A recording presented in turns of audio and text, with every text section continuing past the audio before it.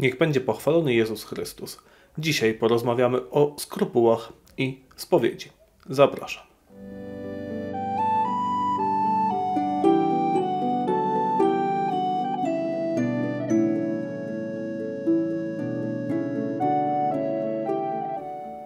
Jest to kolejny materiał z cyklu, który omawia spowiedź, moralność i przykazania.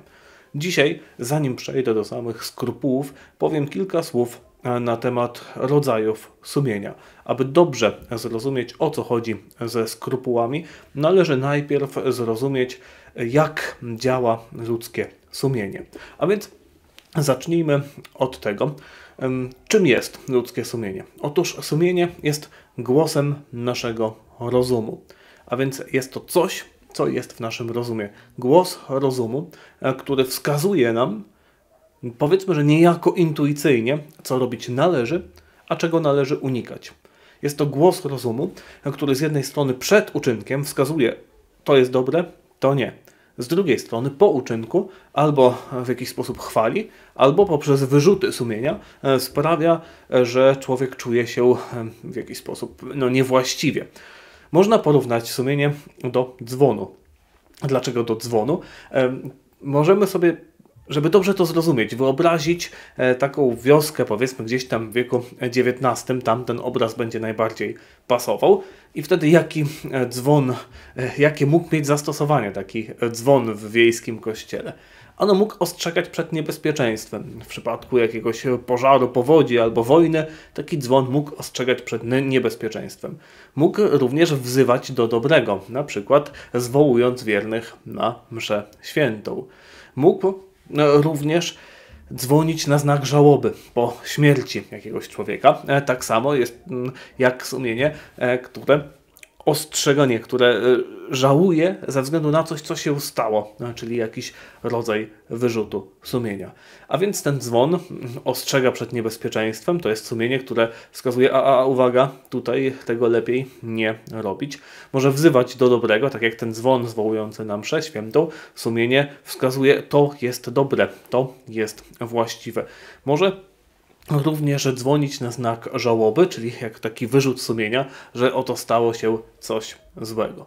Może również nagradzać zwycięstwa, tak jak dzwon, który e, dzwoni na przykład e, już w trakcie samej mszy świętej powiedzmy na, na konsekrację, e, czyli podkreślając uroczystość, e, świętując jakieś zwycięstwo, dzwon dzwoniący na przykład w Dzień Zmartwychwstania Pańskiego, albo możemy sobie też wyobrazić wojsko zwycięskie, które wchodzi po jakiejś bitwie i dzwony kościelne, które wtedy dzwonią właśnie na znak tego zwycięstwa. A więc wszystkie te cechy, wszystkie te działania sumienia można również znaleźć właśnie w tym, jak działa taki dzwon, a więc jest to pewien obraz. A więc ostrzega przed niebezpieczeństwem, e, zachęca do dobrego, a po uczynku albo e, chwali, tak w cudzysłowie, czyli sprawia, że człowiek czuje się lepiej, albo gani poprzez wyrzuty sumienia ze względu na to, e, że człowiek zrobił coś niewłaściwego. Czy sumienie jest nieomylne? Oczywiście nie. A więc ścisłym obowiązkiem naszym jest, aby nasze sumienie dobrze kształtować, aby sprawić, aby ono odpowiadało obiektywnym normom moralności. O sumieniu możemy mówić jako o subiektywnej normie moralności, czyli e, takiej, która jest w nas i która jest w dużej mierze od nas zależna. Możemy próbować e, to sumienie albo odpowiednio ukształtować i sprawić, że będzie działało, ostrzegało wtedy, kiedy trzeba i popychało do tego, do czego trzeba, albo możemy próbować je wykrzywić, albo zupełnie e, w sobie zdusić. Całkowicie zdusić się nie da, gdy człowiek próbuje to zrobić, to e, zwykle jak w przypadku powiedzmy każdej naturalnej rzeczy, którą człowiek próbuje stłamsić, e, to ona później wybucha tak? i wychodzi jak ten trup z szafy, to znaczy ten smród się roznosi i to, to szkodzi człowiekowi bardzo. Natomiast próbować można i w jakimś stopniu wydaje się, że e, człowiekowi, że w jakimś stopniu się go pozbył, to znaczy na jakiś czas to sumienie można w mniejszym lub większym stopniu ucieszyć. No ale to nas w tej chwili powiedzmy mało interesuje. My chcemy się zastanowić, e, jakie sumienie jest właściwe, co zrobić, żeby mieć to właściwe sumienie. Już wspomniałem, że powinno ono odpowiadać obiektywnej normie moralności. Co to znaczy, że powinno ono obiekt odpowiadać obiektywnej normie moralności. To znaczy, że to, co zostało rozpoznane naszym rozumem jako dobre, albo poprzez odczytywanie rzeczy zapisanych w naszej naturze, czyli prawo naturalne, albo poprzez poznanie tego, co zostało nam objawione e, przez Pana Boga, przekazane przez Pana Boga, e, co do tego, jak powinniśmy żyć, czyli co jest dla nas dobre. A więc rozumem poznajemy, co jest dla nas dobre, i teraz e, sumienie powinniśmy tak kształtować, żeby jego osąd zgadzał się z tym, co rozum rozpoznał jako właściwe. Klasycznie wyróżnia się trzy rodzaje sumienia. Sumienie szerokie, sumienie wąskie i sumienie skrupulatne. Tutaj z kolei, żeby dobrze zrozumieć ten podział, wyobrażamy sobie sumienie powiedzmy bardziej jako pomoc, e, jako takie sito. Wąskie e, sumienie e, to będzie sumienie właściwe. Inaczej możemy mówić o sumieniu wrażliwym. Co to znaczy? Że jest wrażliwe albo wąskie. To znaczy, że to sumienie, właśnie jak takie sito, przepuszcza to, co należy przepuścić, a blokuje to, co należy zablokować. W tym sensie jest włos... nie włoskie, to nie jest tutaj wcale synonimem, jest wąskie albo wrażliwe. Przepuszcza to, co należy przepuścić, czyli akceptuje te rzeczy, które faktycznie są dobre, mm, widzi, co jest grzechem, a co nie. I to, co jest grzechem, to blokuje, a to, co nie jest grzechem, to przepuszcza. Potrafi dokładnie wyczuć, gdzie jest ta granica i wskazuje właśnie dobrze, zgodnie z obiektywną normą moralności, która jest zapisana w naszej naturze i którą poznajemy przez Boże objawienie. To jest sumienie wąskie albo sumienie wrażliwe. No jak się domyślamy, istnieją również e, nie e, rodzaje sumienia i to e, jakby obie skrajności. Z jednej strony mamy sumienie szerokie, czyli jak takie sito, które ma zbyt szerokie oczka i przepuszcza przez to rzeczy, które przepaść nie powinny. Czyli sumienie szerokie to będzie takie sumienie, które niejako łyka wszystko. To, to będzie sumienie, które nie dostrzega, gdzie jest granica grzechu i to konkretnie w ten sposób, że rzeczy, które są grzechami, ono jeszcze nie uznaje za grzechy. No to będzie on na przykład sumienie, które mówi, a nie, grzechy przeciwko czystości, jeśli są popełnione w samotności, to to nie jest grzech. To będzie właśnie przykład takiego sumienia szerokiego, sumienia, które przepuszcza grzechy i tutaj bardzo poważne grzechy i nie widzi jakby w nich e, problemu. Kolejną skrajnością będzie sumienie skrupulatne, czyli sumienie, e, które jest zbyt wąskie, gdzie te oczka tego, tego sita są zbyt małe, także praktycznie nic nie przepuszczają na drugą stronę. To znaczy, człowiek praktycznie wszystko uważa za grzech, to znaczy uważa za grzech rzeczy, które grzechem nie są. Mnóstwo takich rzeczy, które grzechami nie są, on uważa za grzech, a czasami od razu nawet właśnie za grzech ciężki. A więc osoba z sumieniem skrupulatnym będzie się bała cały czas, że popełniła jakiś grzech. Taka osoba idzie chodnikiem i widzi gałązki, które ułożyły się jakoś tak mniej więcej w formie krzyża i o, nadepnęła tak przez przypadek ten, ten w cudzysłowie krzyż i myśli sobie, o nie, popełniłem grzech ciężki, no bo przecież tutaj krzyż, a ja w ogóle świętoklactwo i tak dalej. Oczywiście nie ma żadnych podstaw, żeby tak myśleć, natomiast sumienie skrupulatne może człowieka e, doprowadzić właśnie do takiego rozpoznawania e, moralności.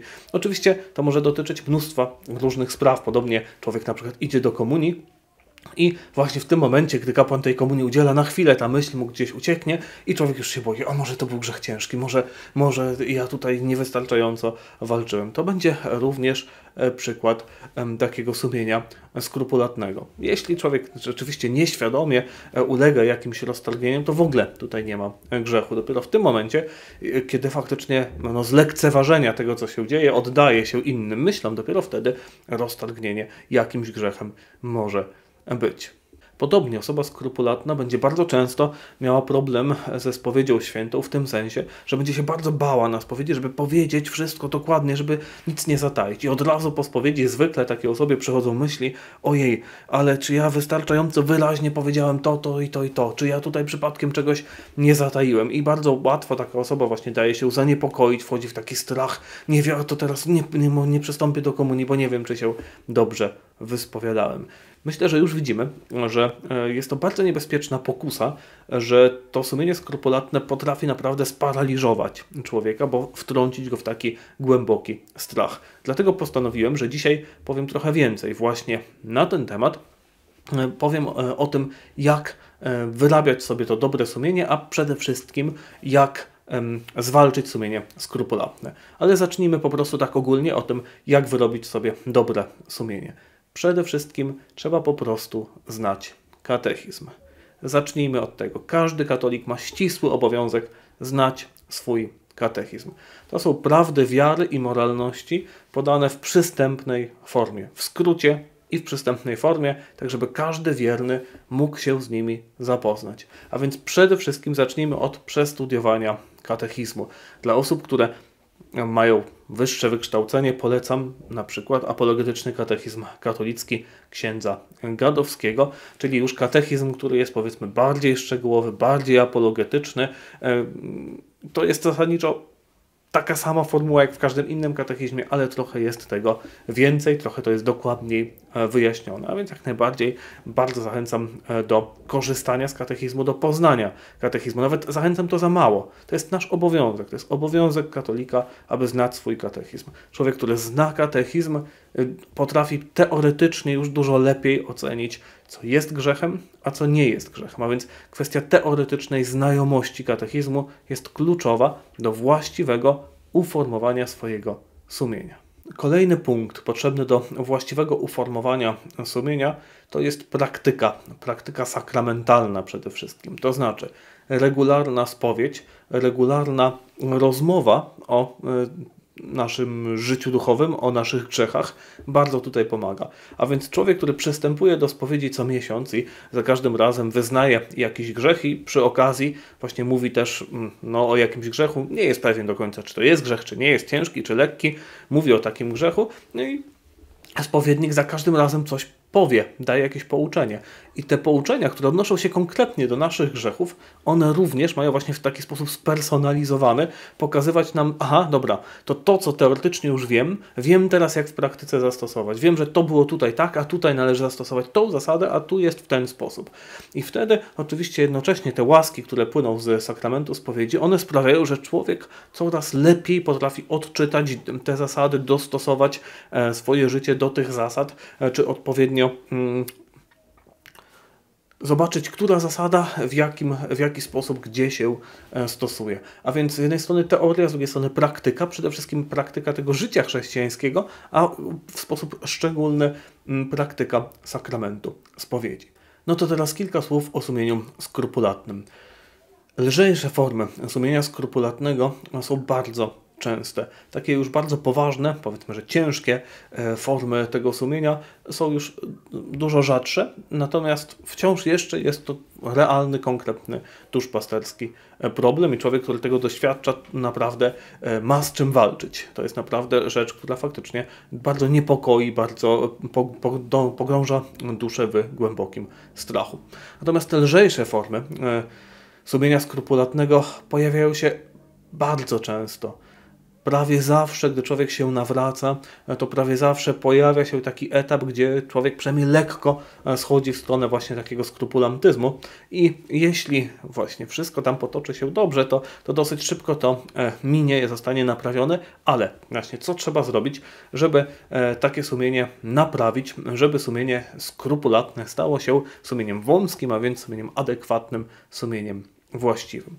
Przede wszystkim osoba, która widzi, że dużo się niepokoi, e, właśnie, a tu może to był, może grzech to, może i tutaj jeszcze nie wiem, i od razu po spowiedzi boi się, że tutaj może coś niewystarczająco dobrze powiedziałem. Przede wszystkim taka osoba musi sobie uświadomić, aha, to są tendencje do sumienia skrupulatnego, muszę przede wszystkim zachować posłuszeństwo wobec spowiednika. To jest wtedy kluczowe. Wtedy należy e, spowiednikowi e, też o tym powiedzieć.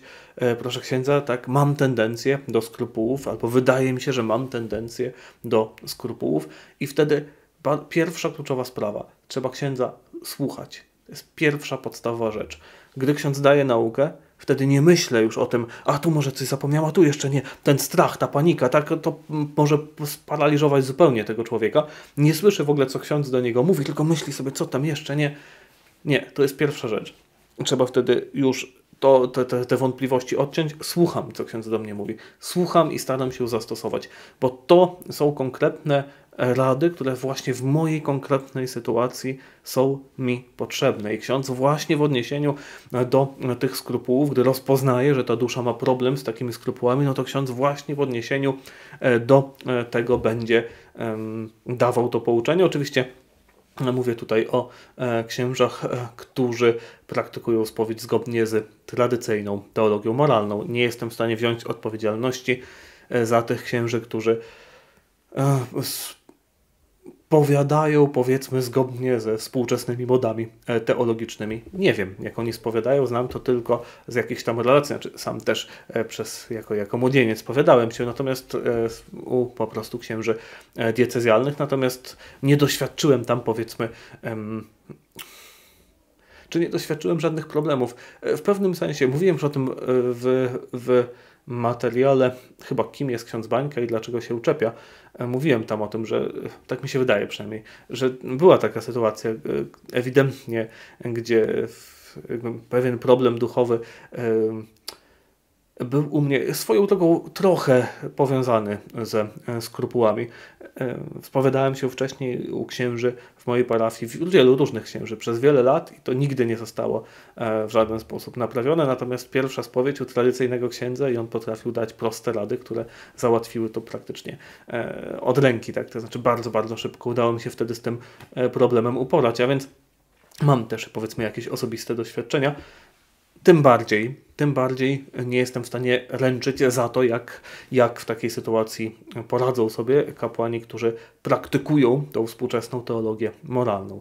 Kapłan, e, który e, faktycznie postępuje w sakramencie spowiedzi zgodnie z tymi katolickimi, tradycyjnymi wskazówkami, wytycznymi teologii moralnej, będzie dawał konkretne rady, które odnoszą się właśnie do tego i jeśli rozpozna problemy ze skrupułami, to z całą pewnością da rady właśnie, które będą nawet jeśli będą dotyczyły konkretnych grzechów, e, to będą e, w jakiś sposób mm, odnosiły się do nich właśnie pod kątem tych skrupułów. A więc pierwsza rzecz dla osoby, która ma skrupuły, słuchaj księdza. Słuchaj księdza, w, y, oczywiście mówimy teraz o sakramencie spowiedzi, wyłącz wtedy te wątpliwości, otraktuj je jak pokusy, odrzucaj je wtedy i wtedy najpierw słuchaj, co ksiądz e, ma Ci do powiedzenia i później zastosuj to.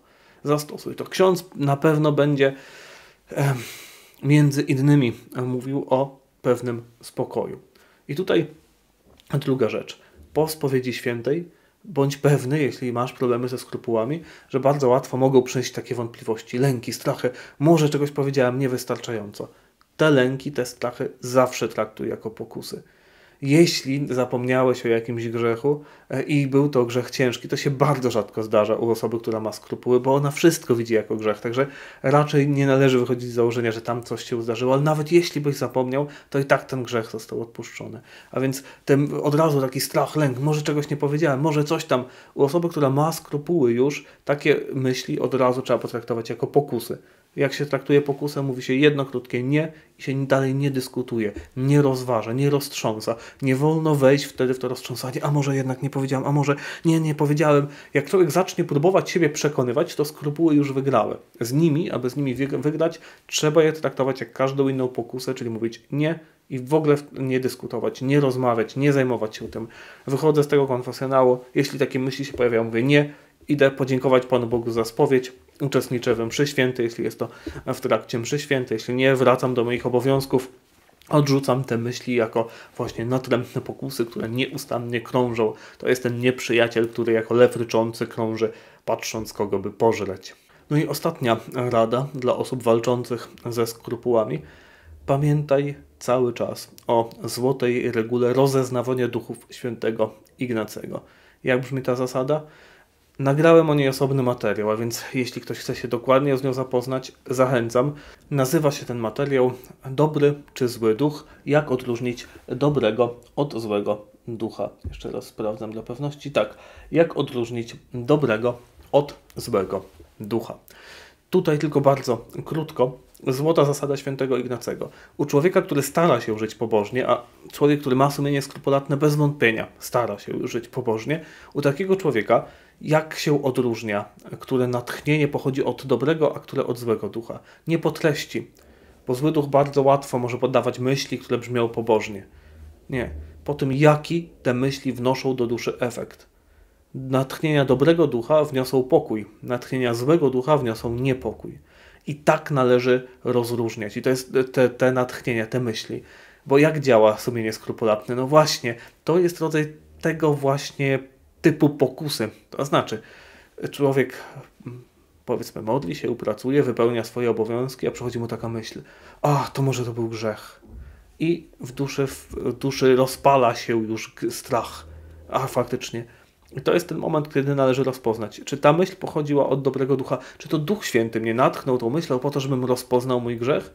Jeśli ona wywołała strach, to na pewno nie był to Duch Święty, tylko był to zły duch, który próbuje mnie odciągnąć od moich obowiązków, od modlitwy, pracy, nawet zdrowego odpoczynku, po to, żeby mnie straszyć, po to, żeby mnie niepokoić. Dobry duch, duch święty, gdy chce człowiekowi ukazać grzechy, to potrafi to zrobić w ten sposób, że człowiek zachowuje wtedy spokój. Inaczej jest w przypadku człowieka, który, jak mówi święty Ignacy, pogrąża się z grzechu w grzech, czyli postępuje coraz dalej w grzechach ciężkich.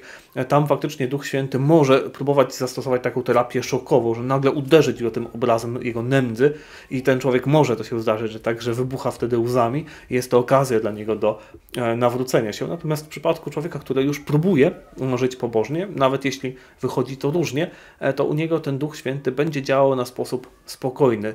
Tam, skoro już ta ziemia zasadniczo została opanowana, to znaczy e, to już jest teren Pana Boga, e, to on tam będzie działał spokojnie i pielęgnacyjnie. Będzie mm, starał się wypracowywać cnoty, a one wymagają pewnego spokoju. Nie da się wypracować cnót w strachu, niepokoju, złości, gniewie, dlatego też te emocje będzie tam siał zły duch. No i teraz Natomiast osoba, która ma tendencję do skrupułów, musi starać się to zastosować. A więc właśnie w tej sytuacji pracuję, robię coś, przychodzi taka myśl.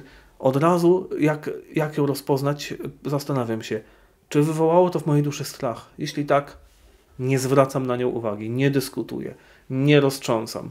Nie, wracam do mojego zajęcia. To jest pokusa. Rozpoznaję to jako pokusę.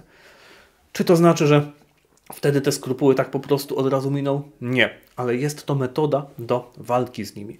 Jeśli jest konsekwentnie praktykowana właśnie wraz z tym posłuszeństwem w sakramencie spowiedzi, e, to powinny te e, skrupuły minąć. E, przynajmniej na tym mm, na tyle, na ile wywodzą się właśnie z tego poziomu stricte duchowego. Czasami one mogą po części wywodzić się z przyczyn e, innych, to znaczy człowiek, który jest roztrzęsiony emocjonalnie, będzie miał też pewną łatwość oczywiście wpadać w e, te skrupuły i e, tam może być potrzebne też powiedzmy, że takie głębokie uspokojenie się na tym poziomie emocjonalnym, ale to już jest jakby powiedzmy inna kwestia. No myślę, że to jest po prostu zrozumiałe. Człowiek, który z jakiegokolwiek powodu, czy dlatego, że jest permanentnie niewyspany, czy ze względów hormonalnych, jeśli jest roztrzęs roztrzęsiony, no to trzeba na tym właśnie poziomie e, też zadziałać, tak żeby te emocje uspokajać. Natomiast na tym poziomie duchowym, tym najważniejszym w tym kontekście, mm, to są właśnie te metody. Zachęcam do e, zadawania pytań. Jak obiecywałem, postaram się e, odpowiadać na te pytania, niekoniecznie w komentarzach, tylko właśnie kolejnymi filmami. Pod tym poprzednim materiałem o spowiedzi świętej były pytania o skrupuły i to jest taki temat, który zawsze wraca, dlatego też postanowiłem e, właśnie temu e, tematowi poświęcić kolejny materiał o czym będą następne materiały dotyczące moralności, dotyczące cnót spowiedzi świętej. Jeszcze nie wiem, właśnie być może ilość pytań w komentarzach na dany temat e, sprawi, że e, łaskawie, w cudzysłowie, spojrzę na jakiś temat, to znaczy e, łaskawy nie w sensie, że to ja jestem jakiś bardzo łaskawy, tylko łaskawym okiem akurat na ten temat spojrzę, zobaczę, rozpoznam w nim coś, co wymaga właśnie troski, zajęcia się, rozpatrzenia, pouczenia na ten temat. A więc zachęcam do zadawania e, pytań i niech będzie pochwalony Jezus Chrystus.